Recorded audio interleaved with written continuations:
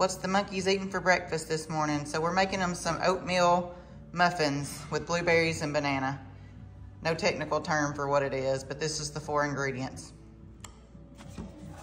For those that might be wanting to make this for your monkeys, uh, it was one banana, mash it up, a cup of oats, uh, a little pint of blueberries, and 200 milliliters of almond milk.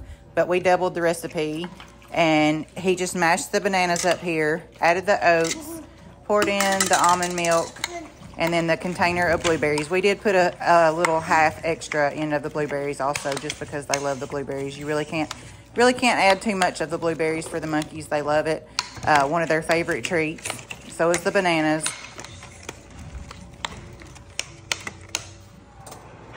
Then we just placed in the oven and baked at 350 for 30 to 35 minutes.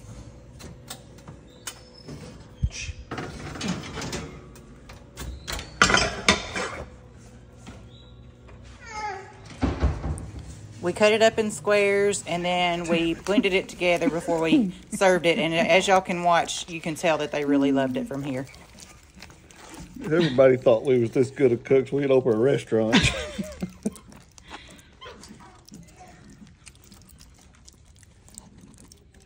Hang on, Birdie. Oh, Bear. Birdie, your little face. Mm. Birdie, we've got it all over you, girl.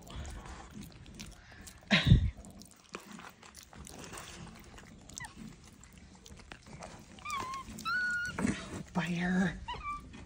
Oh my goodness.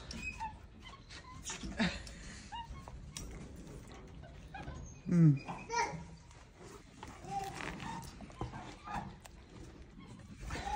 It didn't last long. Rooster, was that so good?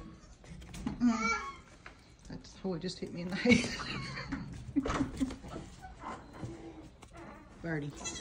Birdie. It's behind her ear. Birdie. Birdie, look. Was it good? Huh? Look here. Look here. Was that so good? Let me